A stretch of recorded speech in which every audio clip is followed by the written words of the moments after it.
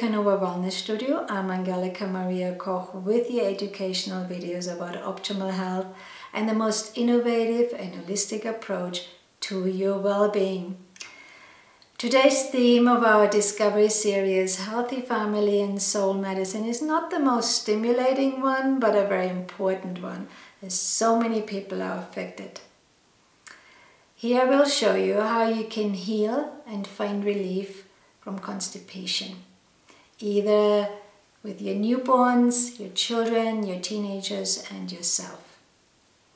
In this video, I will share with you many juicy tips how you can meet this challenging situation with natural and effective therapeutic tools. To stay updated with more inspiring videos, I encourage you to subscribe to my channel, share and like it with your friends and family, and have a look at my website medicanova.net at the online academy where you will find comprehensive home study online courses in first aid homeopathy and quantum healing. And if you're interested in a personal health consultation, either for yourself or your children, contact me at health at medicanova.net. So it is estimated that constipation now accounts for about nearly up to 3 million doctors visit per year. I think it's even more. Mostly women are affected, you know, more than any other population. And during these years of my uh, personal uh, practice, I've helped countless of clients with gastrointestinal ailments and constipation was definitely one of them, so I know it well. But what is constipation? Well, it is defined as having difficulty emptying the bowels, of course, and it's often associated with hardened feces. But when constipation occurs, several other things take place within the gastrointestinal tract. For example, there can be a slowed movement of the stool passing through the colon, or you don't have enough feces, you know, in your colon to stop the peristalsis. Maybe you don't eat enough or irregular eating patterns. Or there may be a delayed emptying of the colon from the pelvis or a combination of both.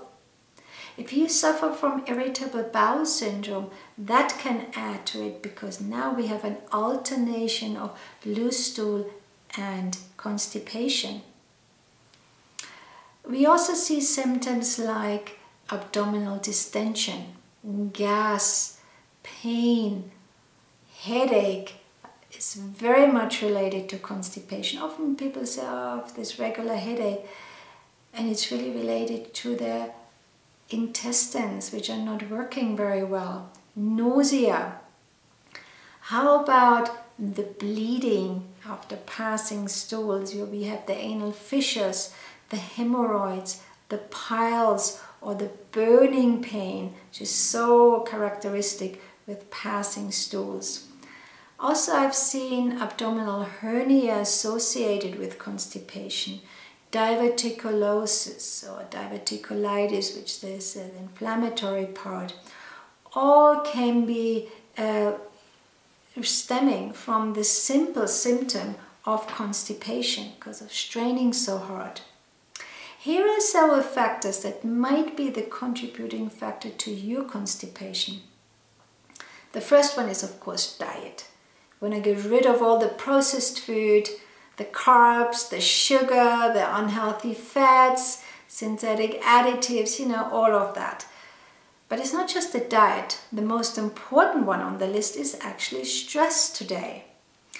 Stress has a huge impact on our hormonal system. It changes our hormones and on the production of neurotransmitters.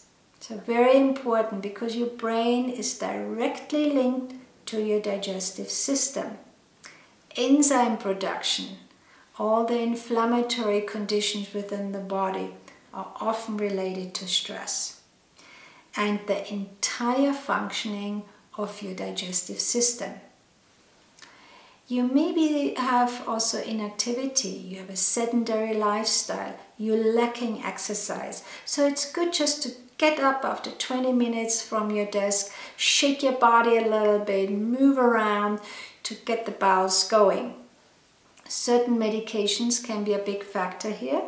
I would say antidepressants, antacids, uh, calcium or iron supplements, all of that can contribute to constipation. Imbalance of an intestinal flora. Very, very important. So we have healthy bacteria and they live in the gastrointestinal tract and you heard maybe about probiotics. These are helpful bacteria, right? And we need that to regulate the bowel function. One of the reasons why fiber of your diet is so important because it serves as a prebiotic. It's almost like a food for the probiotic or the helpful bacteria. So really bringing more fibers within your diet. If you suffer from thyroid or hormonal imbalances, constipation is a given. I would say um, diabetics even, women through menopause, premenstrual tension, uh, people who suffer from eating disorders, um, all that can really add to the constipation, particular thyroid disorders and in this case hypothyroidism. Neurological illnesses, Parkinson, multiple sclerosis, all of that can of course um, you know, add to not being able to empty the bowels. I would say magnesium deficiency. It's an electrolyte which has a direct link to our muscle tension and functions. And if you have a deficiency of magnesium, you probably suffer from constipation. So here I suggest magnesium supplement in the evening, which alleviates the bowel movement in the morning. If you travel a lot, if you go on international flights and your stomach doesn't know if it's day and night, that can add to constipation. The elderly, you know, or hey, don't forget lack of sleep. Oh my God, I've seen it so many times. That can affect your digestive system. But out of the whole list, in my experience, it's always the healing triad of the liver, the stomach and the colon. Now, when you go back in previous videos, look at the, my playlist, you find a video about the toxic stress cycle where I really go in depth about the healing triad of the liver and the colon. But that's really the hub where all diseases start. So all illness starts with your digestion or the lack of it. Now your digestive system is the very first entrance door of your present and future diseases of your life. No. Our food is our medicine and our medicine is our food. It's a statement which we so easily put under the carpet. But in its essence, it's the very truth of your well-being. Now, once the stomach is unable to clear the ingested toxins, it will pass them on to the small and large intestines. So the toxic stress cycle is really more like a domino effect where you have a bucket of accumulated toxins which is passed on from organ to organ within the system. And in this case, it goes from the stomach to the colon. Now here the incomplete digestion as well as the toxic overload results now in fermentation putrefaction we say, where the food just stays there too long and it starts rotting and decaying. Now when your bowel flora colonizes, you know, with the most beneficial bacterial cultures, that's not a problem, right? It can be easily remedied, but these natural processes are not happening so easily today within our bodies anymore. So our colon's flora should be around 85% of beneficial bacteria such as maybe acidophilus you heard about, lactobacillus, bifidus, bulgaricus, and about 15% of sort of potentially harmful ones in the form of coliforms like streptococcus. We need this ratio to really create a healthy bowel flora. Unfortunately, today this ratio is flipped and we deal more with a large amount of harmful bacteria rather than beneficial ones. New research studies have shown that as newborns find their way through the mother's birth canal during the birthing process, that they gather beneficial bacteria via the placenta and the vagina skin that colonize the mother's digestive system in the womb.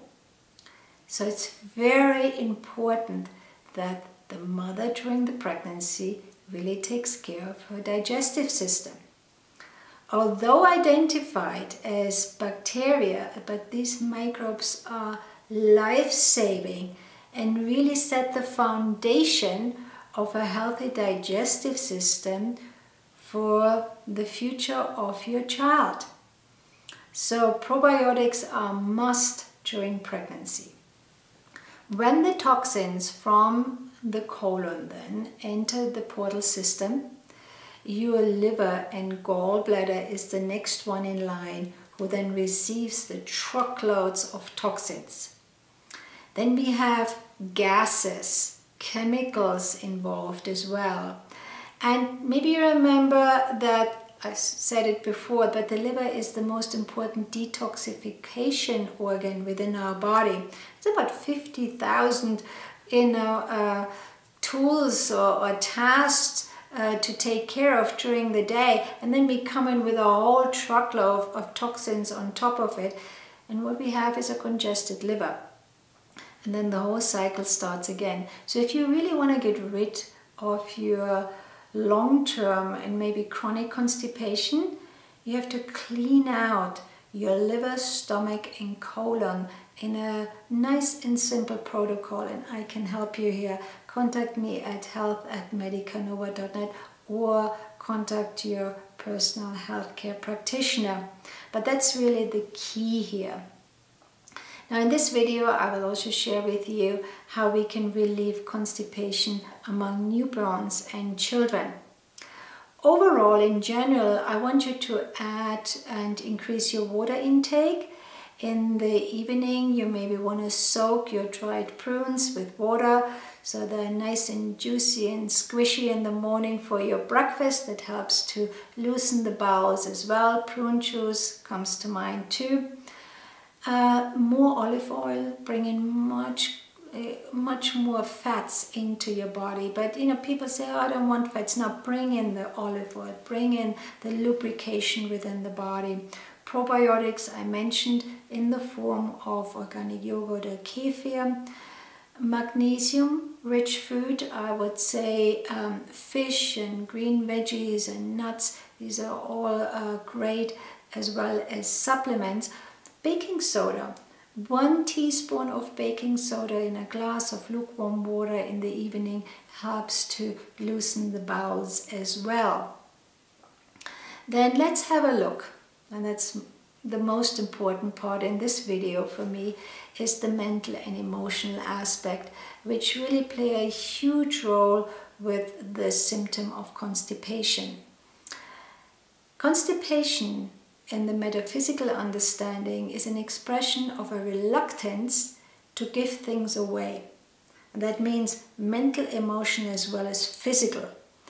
So here we have the desire to hold on to things. That's why I can't let go of the feces. And here it can touch the problem and the area of avarice or greed, you know, on the material level we are hanging on too tightly here to material things and are unable to let go on the physical level.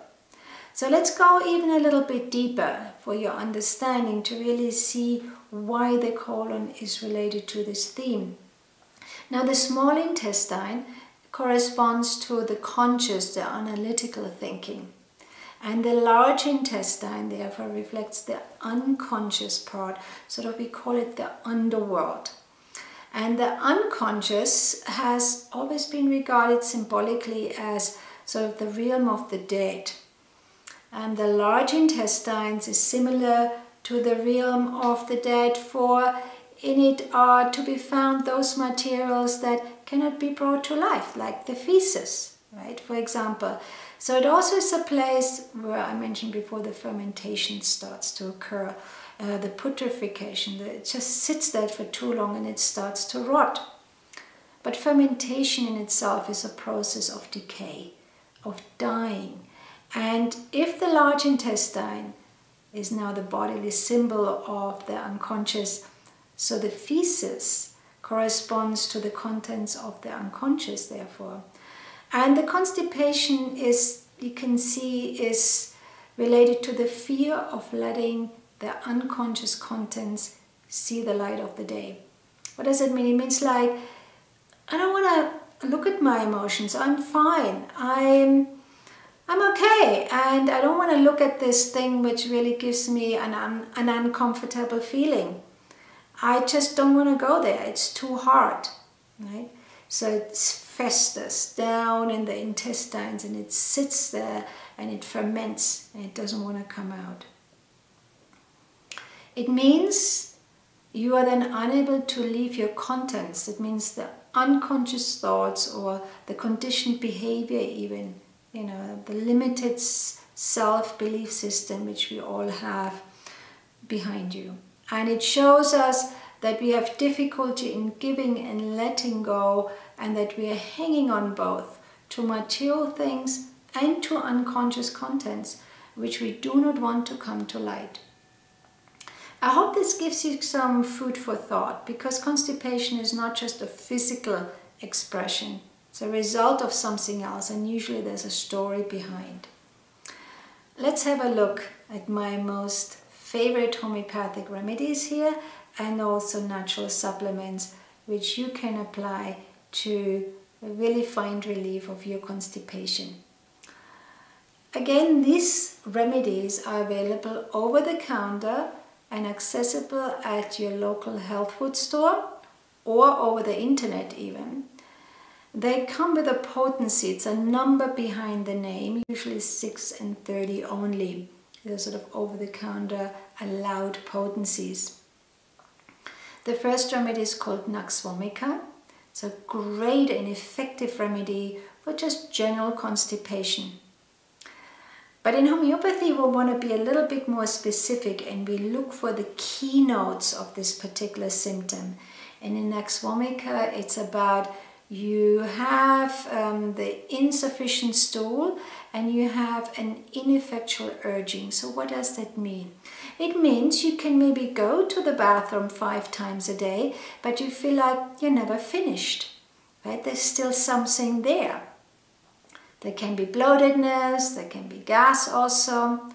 Now, the personality which fits Nux vomica remedy is a go-getter, a workaholic, you know, on the go all the time, never has time, you know, grabs the food on the go, uh, never assimilates food, and definitely doesn't allow oneself time to spend too much in the bathroom unless there's some magazines and they get you know, stranded and read the magazines for hours. That's a sign that somebody has constipation. But they, these people will probably not allow that. They're just on the go. It's great for a sedentary lifestyle where you have lack of exercise. A fantastic remedy if you have piles and hemorrhoids and that maybe can contribute to the constipation if you travel internationally. Uh, it's a fantastic remedy for travel constipation. I would say for newborns or uh, children who suffer from just constipation where you feel like mm, it's not really coming out totally, Nux vomica 6, one tablet daily for a week would help very nicely stop if there's any improvement setting in. That's the keynote in homeopathy. We, wanna give, we don't want to uh, give more tablets. And with adults, Nux vomica 30, one tablet morning and evening, um, maybe for seven to 10 days. Of course, always contact your personal health care practitioner or me at health at medicanova.net. I'm happy to help here. The next remedy is called Alumina.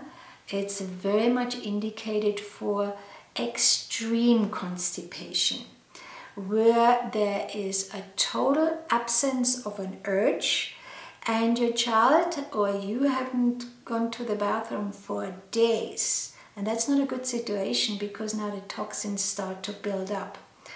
So the leading sort of guiding feature here is there is a total absence of the urge and extreme sluggishness of the intestines. It's just nothing is working. Even with the children, you have to resort to mechanical, you know, ideas to get the stools out, right? That's a Alumina situation. The stool is only passed when there's a large accumulation of fecal matter happening within the intestines. Even excessive straining can happen with soft stool, right? By then, of course, the anus will be affected. There will be a burning going on. And also the child is afraid even to uh, let the stool out because it might hurt, right? That in itself can be very difficult. So it's a great remedy indicated for children, also bottle-fed babies, right, who are having now constipation. You maybe want to check out your milk formula and, you know, find a different one which works better. Elderly people, you know, who really have no urge and can't go. That's really not a good sign. So make sure that you start um, supporting this process with natural and therapeutic tools and Alumina is a great remedy. With newborns I would say Alumina 6, one tablet daily for a week. See if that makes any difference and with adults Alumina 30, one tablet morning and evening for 7 to 10 days and see if this opens up the bowels. You maybe heard about the bicycle leg uh, practice with the babies. So you take your newborn baby, uh, put it on the back in front of you, and you take these little chunky little thick legs and in circular mo movement just start mimicking the pedaling of a bicycle and that opens up nicely the whole abdomen you also want to massage your baby's belly and uh, warm bath helps as well, but also check out your milk formula. You may want to switch to another one. Lycopodium clavatum, I've mentioned this remedy so many times before, but comes here again. Very helpful in the case of constipation associated with a lot of flatulence. It's a liver remedy, so again, when your liver is congested, you will have burping and flatulence. And lycopodium can really alleviate the constipation when you feel like there's a lot of gas happening. It's like, call it incarcerated flatus, it's like trapped gas. Um, lycopodium 30 for adults, uh, morning and evening again for 10 days. I think that could be a great help here. Our last remedy today is called Silicea. And you maybe laugh what I'm just uh, share with you, but happens quite often, they have a partially receding stool, call it a shy stool. So they are on the toilet, they are expelling their, um, their feces, but then it recedes back, right? It's coming half out and it's going in. That is a fantastic remedy for that. Silicea it's basically made from the quartz crystal. What happens is there's a constriction in the anus, so it pulls the feces back. And there can be exhaustion because it becomes a very uh, strenuous effort constantly to push out the feces, but then it slips back. Of course, at that time you have a lot of burning and smarting pain around the anus, right? Because you really try hard here Constipation of that kind of a nature I've seen a lot with women before and during their menses also. You know, have a look with that.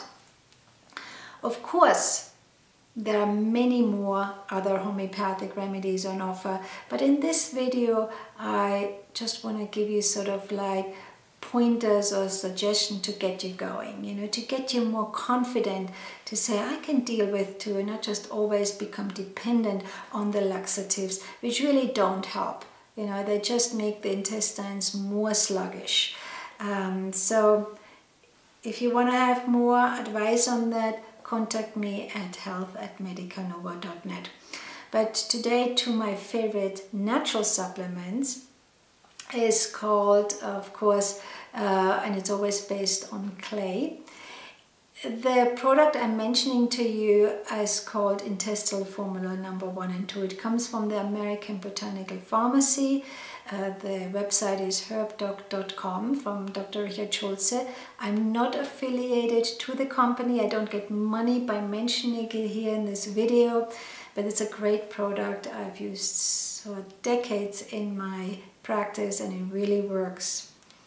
It's a powerful intestinal vacuum and it draws out old fecal matter, but it does much more. It draws out toxins, poisons, bacteria, drug residues, as well as heavy metal like mercury or lead, which is really um, health damaging today as well. Inflammatory uh, situations, and it's also a soothing agent. Now, what is it made of? I swear on bentonite clay. It's the best intestinal cleanser. But here we have a combination of charcoal, of marshmallow root, of slippery elm, which is mucilaginous. It sort of coats the lining of your colon, apple pectin, uh, we have peppermint in there, we have some cayenne pepper, flaxseed, psyllium seed, all the good stuff which help you to train your colon again to become really strong and uh, knows when and how to eliminate the feces in the most rhythmic way. Now, when you have excessive constipation, I would say start, particularly the adults I'm talking about here, um, start with a protocol where you use the intestinal formula number one and two. So the two is about one teaspoon several times a day of the bentonite clay and the charcoal and the other ingredients is mixed with juice and water and in the evening you take a capsule of intestinal formula number one to just soften the stool to get it out the next day. It's not a laxative, it's based on plant derivatives which help to just loosen the bowels. For maintenance, I would choose intestinal formula number two, one teaspoon in the evening with water or your favorite juice as uh, just forever. It just cleans out your bowels very nicely and uh, you will really uh, support your constipation in a way that your body learns again how to use this muscle in the most rhythmic way because a peristalsis in your colon has to do with the longitudinal muscle and the round muscle of your colon and they work sort of in a rhythm in a dance. And if you can't do that then we have accumulated feces we have constipation happening. And when you take clay or this kind of natural substances the body learns again how to move in a rhythmic um, really beautiful dance. And your health will blossom because all diseases start in your intestines. Never forget that. So I hope that gave you food for thought and great tips to find relief with your constipation. I know you can do it. So till next time, much love. Take care.